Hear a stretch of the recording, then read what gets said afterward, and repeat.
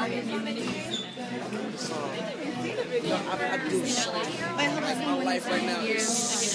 But wait, hold on. I gotta get her picture. That I can barely remember what happened three days ago.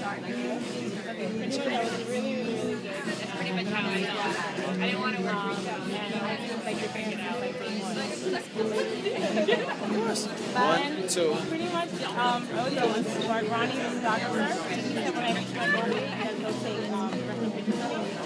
was wondering if you're at 106. Yeah, y- y'all need to come up there. You need, have you seen Ronnie? In the, when last time you saw Ronnie? I haven't been there in a while, but last Then you need to pop up at 106. You know where he at. Ronnie's always there. Tell Ronnie, look at me now. Hi, everybody. Welcome to the episode seven. Thanks for coming by tonight. Uh, we have a great special event here uh, happening for you. And uh, just want to remind you of a few things.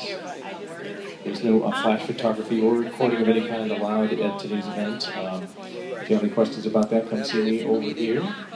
Um, no video and no audio recording either. You can take photos just as long as it's not I flash see the same photography, people that come to flash 106 all photography the at time. all. All I really appreciate that. Thank you. not hard to find. Good to see you here tonight. Come to 106. We have a great special guest. Wait, hold on. And Rick Uh, Bonner Val. as well. Um, I ain't gonna lie, I gotta go home.